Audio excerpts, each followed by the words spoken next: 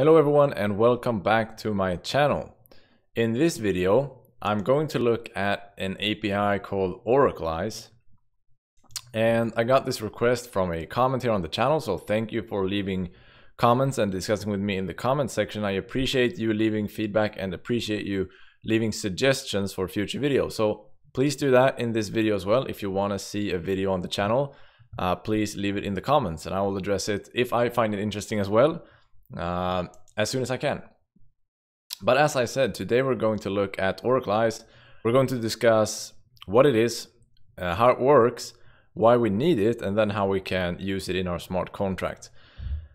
First of all, what is it? Well, it's, it describes itself as a data carrier for decentralized apps. And if you followed my videos in the past, you know that we've talked about oracles and the need for oracles when developing smart contracts. Since smart contracts usually rely upon data from the real world, we need some sort of service that can fetch this data into the smart contract from sources that we call oracles. So an oracle when it comes to weather would be some sort of weather service. I don't know, weather.com, Yahoo Weather, that can bring us a trusted source of weather information and we can use that API and hook it into the Oraclize API that has then built a smart contract that we can easily that we can easily um, inherit from in our smart contract or import as a library in EOS, I think, and then use that weather API in order to have weather data in our smart contract. Because if we're going to develop uh, develop a, a, smart contract around the weather, I don't know what what kind of dApp could you develop around weather. Well, I don't know. I thought for a while I didn't come up with any any good uh, good dApps to build on weather. Uh, but let's take another example. You could take uh, the example of building uh, a decentralized weather um, weather prediction forecast, whatever, and instead use APIs from example weather stations that will give you temperature and humidity and so on, and then you can build your predictions upon that in your smart contract. Maybe, maybe it's a silly example, but uh, let's use weather since it's an easy API to get. Another cool thing that you can use Oraclize for is uh, to implement random functionality in your smart contract. If you follow my smart contract videos in the past or taken our courses, uh, you know that it's all it's impossible to uh, to do random numbers. You can do sort of random numbers, but they're not really random. Uh, and that's because uh, the nature of decentralized computing is that everyone has to find consensus, and it's very difficult difficult to actually implement the random number if everyone has to come up with the same number when they execute the code. So what you can do with Oraclize is, of course, you can have a, an, an external service that de delivers the delivers the pseudo random number. I'm not going to go into why we can't have totally random numbers in computing. Uh, that's a completely um, separate issue. But you can have an external service that delivers that number through an API, and then you can connect to that through Oraclize and use it in your smart contracts. In many situations, we actually do need random numbers in our contract. But so this is Oraclize, and you can read more on oraclize.it. And if you go to dev.oraclize.it, oh, let's see, I need to um, make sure that you can see this.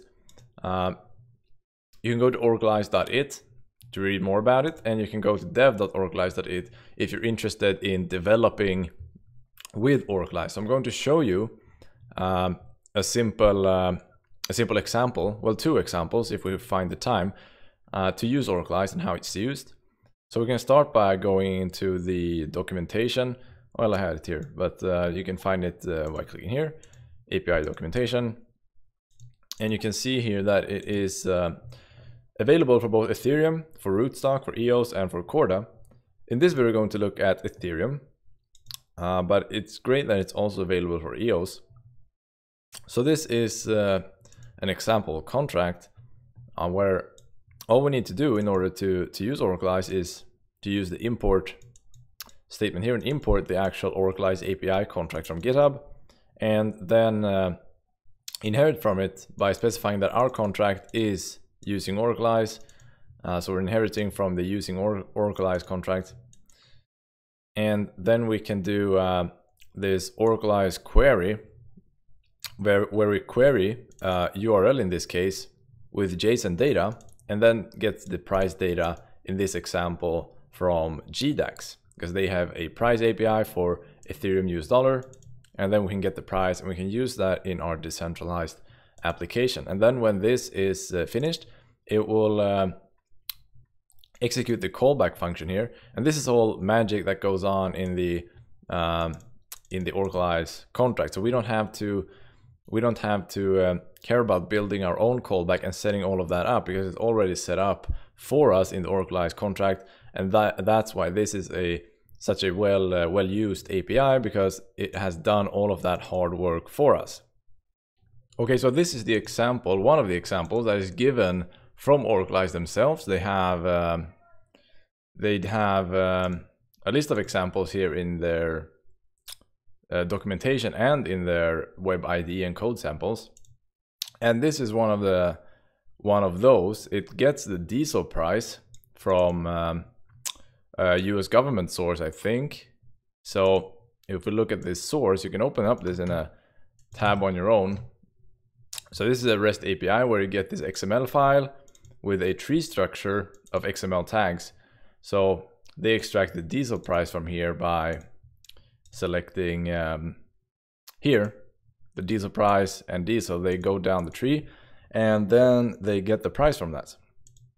But I thought I would modify this slightly to create my own example uh, for two reasons. One, because it's interesting, and two, because this example did not actually work when I tried it. I don't know why I haven't looked into it, but I wrote this. And this is very similar. Uh, it has some similar, uh, all the similar comments and all the similar structure, but I have replaced the um, the Oraclize query here with first of all, it's not a JSON source. Uh, sorry, it's not an XML source, it's a JSON source. And I use the um, Yahoo Weather API to get the sunset in Hawaii, I think, the sunset time. So if we look at this, this source instead, we can see that we get JSON response here and that the sunset is at 6.57 p.m. So you can uh, you can go into um, yes, the Yahoo uh, Weather API. And let's see here. I just Google that and then you can go here, for example, and you can uh, select one of the examples here. I, I, chose this sunset time in Hawaii, but you can also um, create your own query here to get their um, to get their weather info um, and try that. But I got one of those examples, and then as you saw here, Let's see, do I have this here still? We need to uh, navigate us through this uh, JSON object here. So we need to go inside of query and then results, channel, astronomy, and sunset. And that is what I have done here. So query, result, channel, astronomy, sunset. And um, different from the previous one is of course that this was an XML source. So I replace XML there by JSON here and we deploy this just like any other contract. Uh, what is to be noted here is that we have imported this uh, Oraclize API here, and the sunset contract is um, is inheriting from the Oraclize contract. That contract name is using Oraclize, so it's like so it's easy to read. Sunset is using Oraclize, but it's an inherent uh, type thing. And once that we've gone through that, we can actually deploy it. Unfortunately, the Oraclize contract does not work with the uh, JavaScript VM, so we have to use the testnet. So it will take some extra time here to get going, but I'm going to uh, deploy this contract to the Rinkeby test network. And once that's done, we can, of course, uh, navigate into here and then hit update in order to run the update function which will fetch this um, this data from Oraclize uh, through the Oraclize contract and then from the API. So let's hit confirm. And this will then set the sunset time in here through this callback. That's right here. And then we can use our getter function here, sunset time, which is automatically generated, of course, to get the sunset time whenever we want. And now when I have resized my face here, you can actually see the time 6.57 p.m. And this is of course the same as we saw here in the Yahoo API because that's where you get the data from, 6.57 p.m. And it's here in the callback function where you actually uh, can use the data. So the data comes here in the result uh, and you can use that however you like. I just set it as a state variable, so I have it in the contract and I can use it wherever I want. You should of course modify that to suit the needs of your contract.